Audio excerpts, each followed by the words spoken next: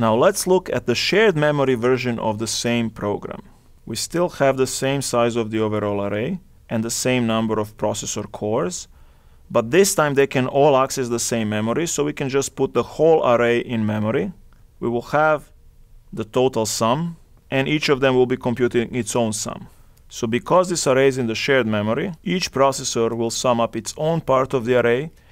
The big difference occurs not only here where we are actually able to just access the part of the array we want, but also in how we can compute the sum.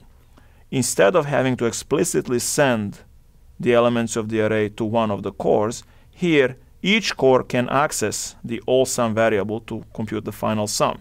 So what they do is they synchronize, so they have a critical section around this, and then each core simply takes the overall sum and adds its own sum into it, and then frees the lock so that the next core can do it. So the cores can do this in any order they want. We don't have to control that order or anything. All that needs to happen is that all of them have added the sum together.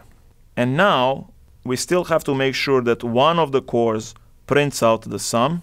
But because this can be done in any order, core 0 could be the one that does this first and then prints out only its part of the sum because the others have not updated this yet. So we need to add code here to have a, what's called a barrier, where basically we put a synchronization here that makes all of the cores wait for everybody to arrive before they proceed to ensure that core 0, when it does this, does it only when everybody else has arrived to this point and has incremented the sum already. One of the nice properties of this is not only that it makes it more explicit who does what, so that we don't have to think about this as being basically four different versions of code.